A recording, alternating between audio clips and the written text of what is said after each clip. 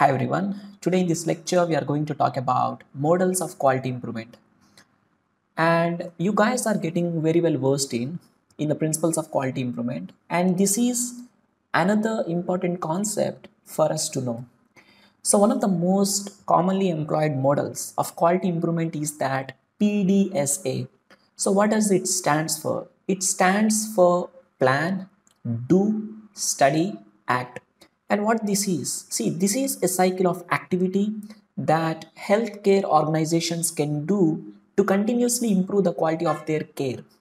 See the questions that usually go into a pdsa cycle are you know what are we trying to accomplish? So what is a specific goal?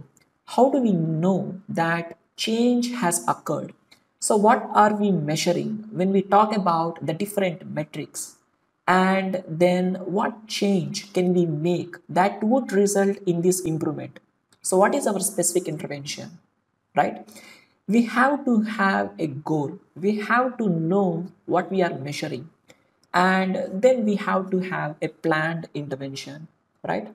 So basically what this model does is take the very simple concept of trial and error. And it transforms into a more robust model that can be used to improve healthcare. So again, that's in the planning phase comes in. When we decide on a new pilot or a new intervention or a new initiative okay? And that has the expectation to result in some benefit to patients. The do is actually the implementation of that plan. And then it's important. We need to study it right?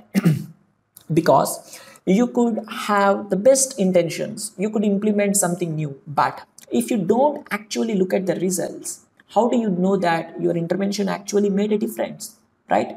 So studying the results is very important. Again this is where we can look at the process measures outcome measures balancing measures and then the act right? See the act is where we analyze the results and we decide if it did not work how can we revise our plan and start another PDSA cycle? And if it did work, then how should we implement this into our routine care, right? So this is the PDSA cycle. And it's a very common model that's used in healthcare for quality improvements. Just for the sake of completion, there are other models other than PDSA. And the other one is the Six Sigma. You might have heard about this. This actually originated in the manufacturing industry and the current, the term actually comes from statistical terminology with sigma to donate a standard deviation from the mean. So 6 sigma is basically equivalent to 3.4 defects or errors per million, right? So if you achieve 6 sigma, you make great strides in reliability and reducing defects. So using the Six Sigma system, there are steps that an organization will take to reduce variation and to improve performance. See the acronym DMAIC, define, measure, analyze, improve and control. So what do I mean by define? See, you wanted to find the problem in detail.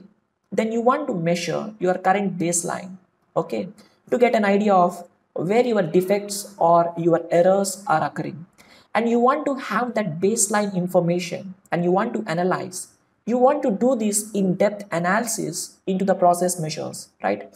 So this is where you might bring in your fishbone diagram or your flow charts to really understand what are the conditions contributing to these defects or errors. And then you improve uh, to define a test or intervention that's aimed at reducing the defects. And then control asked what steps will you now take to maintain performance assuming that you got the results that you want to see with your intervention right? So it's just a, another way of approaching quality improvement. We also have some other models of quality improvement. Our lean.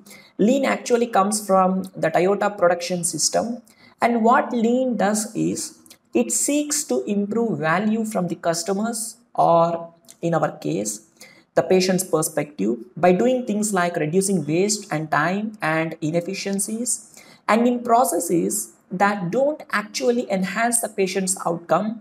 this could be anything from decreasing the length of time a patient spends in a waiting room before going in to see their physician for scheduled appointments or the number of redundant forms that the patient has to fill out during their hospital stay.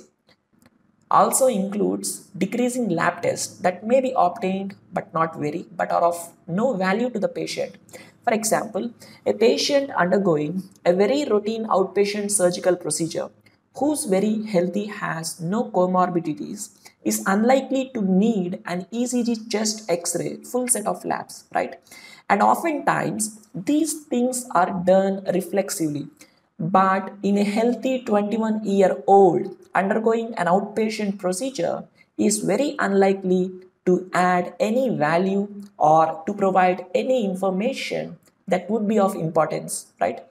See, we talked about flowcharts in the analysis of systems, and these flowcharts are very helpful because they allow teams to understand the steps involved in delivery of patient care basically provides a visual illustration of all the steps that the patients are going through in the process of care.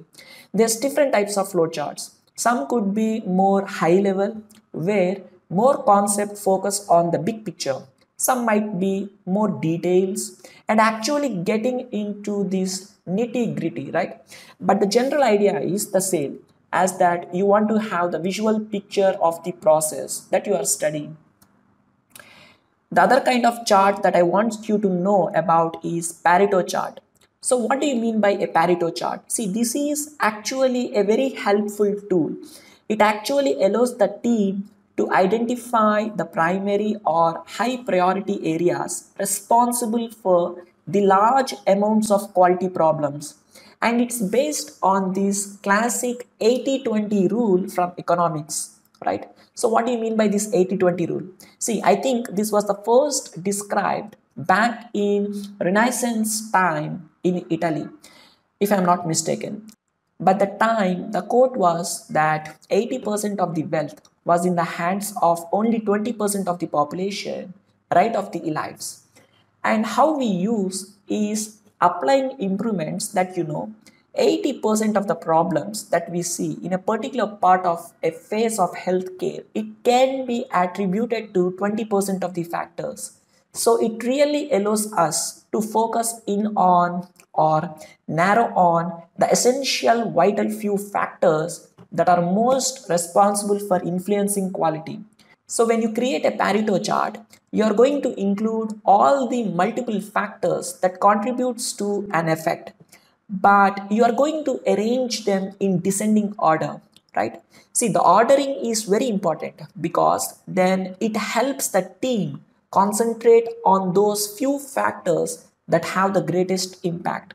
See all the charts that you will hear about is quality improvement are run charts sometimes these are referred to as time plots so these are graphs of data that are collected over time so it helps you to determine whether intervention has actually caused an improvement in the patient's care.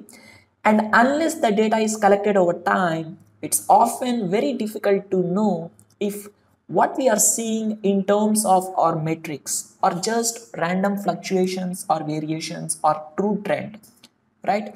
So the most important thing to know about a run chart is that on the x-axis, you are going to have time this might be days or hours or months depending on what you are measuring. But on the y-axis, you are going to have your, your quality metric, right?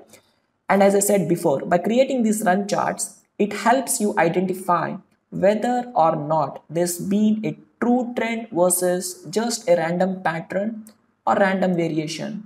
And there's specific tests that can be applied to a run chart to help differentiate the two. And one of those things is a shift. So a shift is a signal of significant change. So for example, if we had a run chart that was tracking infections with central line placements, okay, we have over a period of time and it might be, you know, weeks or months, points of the data indicating our number of central infections, okay Now those points are going to fluctuate from the month, right? If you notice six or more consecutive points above or below your median, that would indicate a significant change. Likewise, if you notice five or more consecutive points all increasing or decreasing, again, that's likely is not just a random fluctuation and there's probably an actual trend there. So there are ways in which you can use run charts to help identify in your process when there's a significant change either for the better or for the worse. So again, I think a picture's worth thousand words. Here's an example, a sample run chart. This one's actually plotting patient falls. Okay, so you can see again on the x-axis we have our time and we are looking at this per month. So we have about a year here and on the y-axis is our quality metric number of falls per 1000 occupied beds okay and the red line is your median now in this case with falls lower is better right? You want to have fewer falls it means great. If you could have zero falls and higher is going to be worse. So the team sets what their goal is and then we are plotting our data month a month to actually see how we are doing. So you can see in March we did not do so good nearly 7 whereas in May uh, look we have hit our goal and it fluctuates from month to month right and now looking at this and applying our rules to see if there are six consecutive points above or below the median or five or more consecutive points all increasing or decreasing. It can help us to analyze this to tell us, you know, are we really witnessing a trend, an actual shift or this is some random fluctuation. So if you want to get even further with these charts, you can do what's called a control chart. Control charts are very similar to run charts except there's a lot more statistical complexity which is placed to them and you can actually do a lot more analysis, right? With control charts, you set these upper and lower control limits. These are the thresholds within which any changes or variations are thought to represent just inherent fluctuation. But if you go above the upper control limit or below the lower control limit, you are probably looking at something that is significant. And it's not just random fluctuation. Now, a couple things that are important to notice with quality improvements, it's a little bit different than say a randomized controlled clinical trial.